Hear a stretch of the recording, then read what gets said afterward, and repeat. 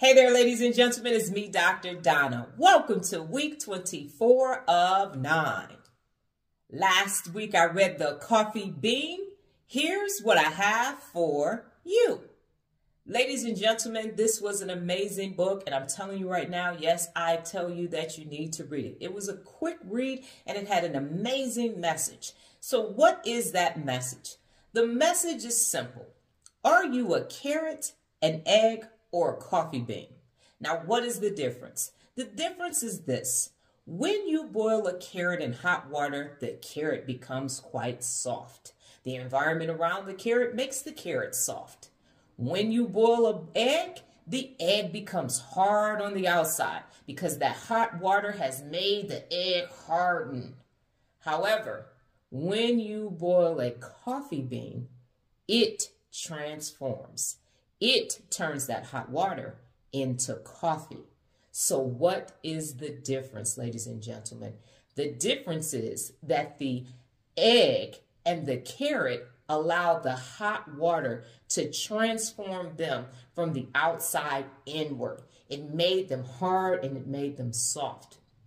The coffee bean, on the other hand, took the benefits of that hot water and that environment that kind of is like, oh my God, it's intense. And what do you do when you're placed in hot water? And it decided to leverage that heat to transform itself from the inside out.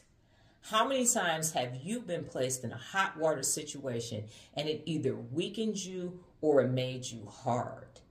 And how many times has that situation actually transformed you from the inside out? In order to be transformed, change happens on the inside and then it manifests itself on the outside. So as you grow forward in life and you're placed in hot water environments, when you're placed in situations that just make you want to just say, forget it, I want to give up, I'm going to be weak. Or you take those situations you said, it'll never happen to me again, I wish it, and then it makes you hard.